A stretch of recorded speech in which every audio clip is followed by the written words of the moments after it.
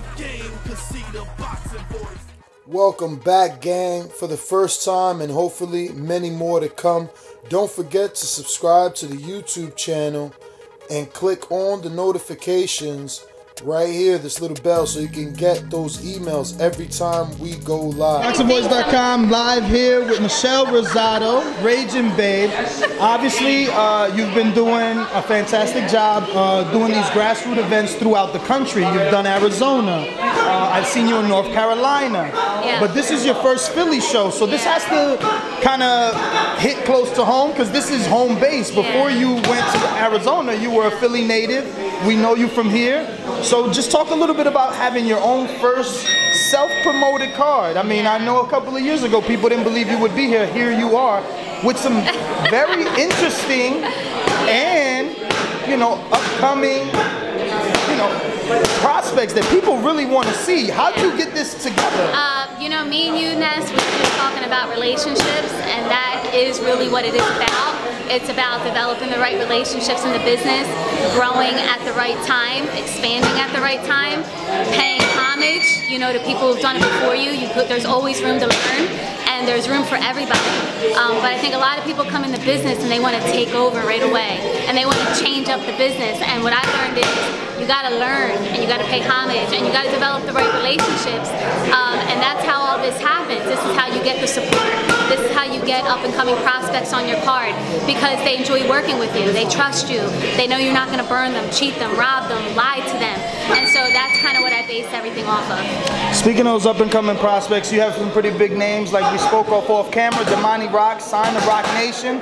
Sonny Conto newly signed to top rank. Christian Carto, and you know a, a gem that hasn't been discovered yet at 17 and 0.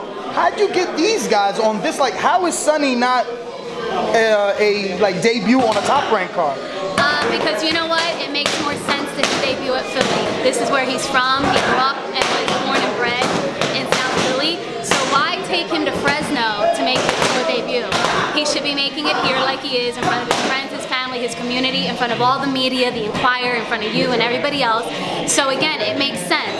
Yeah, he could have went to Fresno and debuted under like Jose Ramirez, but so what? Like what does that really mean here locally for him and his fan base? So this is a good coming out party for him. Top Rank's going to be right back in town before you know it. You'll hear an announcement soon, and he'll get to make his debut under the Top Rank banner too. Um, but everybody's excited about him. When I heard he was like really going to turn pro, I knew he had to be on this card. And I'm like, I don't care who he signs with. I don't care if it's DiBella, Hearn, Top Rank, Haymon. I made it a point to reach out to everyone and say, whoever he signs with, he's got a debut in Philly.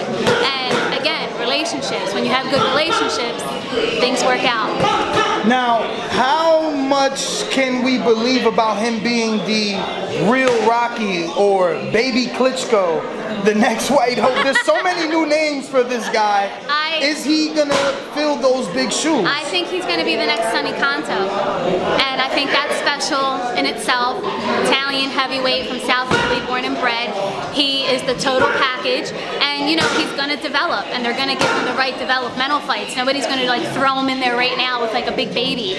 But, you know, it's, it's going to take time. And he's still young. And he's fresh out of the amateurs. But everybody wanted him for a reason. now, could we look forward to seeing you have him on future cards, or was this something where you got him right at the mo- right moment before his actual uh, signing? Uh, Sonny. I mean, as long as we're running here, as long as there's a good relationship, they're always welcome to fight on our cards, on my card. Um, and again, when Top Rank comes to town, you know, we usually work with them. So this is not the end for us with Sonny Conto. I'm sure there's a lot more we're going to work on together just because of, you know, who he is signed with and boxing in Philly, period. And now you have another heavyweight on the card. We spoke of Darmani Rock signed to Roc Nation. What was the thought process behind having this many heavyweights? Is it because the division's hot, or is it because these guys are local Philly fighters? Actually really simple. I called the card Philly Special because I think Christian Carto is the Philly Special. And I said, okay, well, he needs a supporting cast. And so I wanted all the special guys in Philly, which Darmani Rock is one of the Philly special guys, Sonny Conto, a Philly special guy, Marcel Rivers. So for me, it was about getting the most special guys from Philly on the card. Now, how far are we from seeing Raging Babe on a DAZN or a ESPN because these guys have unlimited bandwidth, and I'm using air quotes. Both, you know, Eddie and uh, Bob Arum brag about unlimited bandwidth and being able to put on fights at whatever time of night because of these applications and streaming services. Have you spoken to someone? Are, you going to be able to take this series um, somewhere that we can see it without buying physical tickets? Well, I like to stay in my lane, and like I said, I'm still growing. So I would be really naive and ignorant to say, oh, I'm ready right now to do my own television show. I think I still got a couple more years to go, even though people beg to differ. Well, I never met your own. I mean, somehow getting your fight seen on those Oh, networks. okay. Well, we are going to be streaming on the Facebook Fight Night Live with Mark. Fratto. But of course, my goal is to get a ShoBox card in Philly because we've got a lot of talent here, and they'll fight, and that's what ShoBox is about. They want young talent in good fights. So Philly guys, they'll fight, and um, yeah, hopefully we'll get to that point. Now I've seen uh, obviously you said ShoBox reminds me of Jaron Ennis just fought on ShoBox. Uh, another strong Philly fighter that you Philly have out here is uh, Jesse Hart. Um, are those the type of names you're thinking of? For Your next Philly special. I'm, I'm, I'm thinking about Christian Carto. I'm thinking about continue helping them brand and grow, like you said. Um, he's like an, a little hidden gem, but on purpose. He's got a really smart team. His brother is super smart. They know what they're doing. Developmental fights. There's no need for him to go sign with anybody right now, but it is getting close. But At 17 and 0, you don't think it's time? you don't know how much leverage he has in this city. Anybody, anybody would sign him. He could fight anywhere, anytime he wants to. They have a lot of leverage. They're huge ticket sellers. They have a huge fan base, and they're getting the right fights at the right time. So So pretty what soon, would what would signing to a big promoter? How would that damage that? um, well, control. Control. You lose a little control, Yeah, maybe. educate us. What kind of control Listen. would he lose? Well, you know, not being able to fight in Philly as much, maybe. You know, and we Could know he how. somehow negotiate that into his signing? Yeah, but come on, Naz. You're asking me stuff that you know the answers Well, to. you, I don't know his leverage. If you think he's a ticket seller, I, I remember a guy like. Seth Mitchell, which you and I both know. Yeah. He was able to make sure that he fought consistently in AC, which was close to his home base here in They're, uh, they're holding all the cards right now. They're a big deal in Philly. They love fighting at home. They're a big name in here. So when the time is right, they'll sign when it's time to get the bigger television fights and travel across the country. But so many fighters forget to build at home, and then they're forgotten. I mean, there's some Philly fighters right now that if they fought in Philly, they wouldn't put 100 seats. They wouldn't put 100 people in the seats, and they're on TV. They're bigger names. They're, but why? Because they were taken out of their city, and they were fighting in Seattle. They were fighting in like Timbuktu. And it's like, well, you become forgotten that way too. So I think they've been really smart by holding out. So how big is the arena? Where is it located? How could people get tickets? This show is all about South Philly, 2300 Arena. And right now we're at capacity. So No tickets, sold out. no, I don't have tickets. I think, yeah, you guys are done. Marcel Rivers, yep, Marcella. Sorry about that. No problem. Right now we're at capacity. We're hoping that maybe tomorrow we'll get like a few tickets back in from people, but uh, yeah. And what is capacity in the uh, 2300 close to 1,500 people. That's, and that's a location that even Al Haymon uses uh, frequently, even Bob Arum. So that is. Listen, I say it all the time. Real promoters promote. You got to put in the legwork. You got to be out there in the streets. You got to hang the posters. You got to do the grunt work. You got to sell the tickets. You got to hustle. You got to do the grassroots marketing. That's how this happens. I mean, Is everyone here local? I know it's a Philly special, but are the opponents also from Philly? Because I know you've worked in other states, so I don't know if you brought in some talent from Arizona, maybe some West Coast no. guys. Some of the guys, some of the opposition are from New Jersey. We got a kid from California coming in. Uh, Atlantic City, Jersey.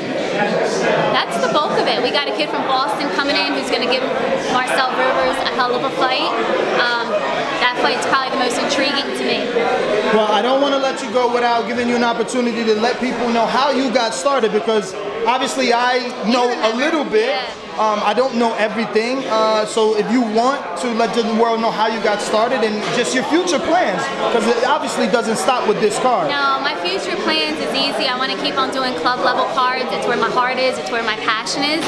You know, nothing better than seeing a guy who's 4-0 develop into fighting on the TV and fighting for a title.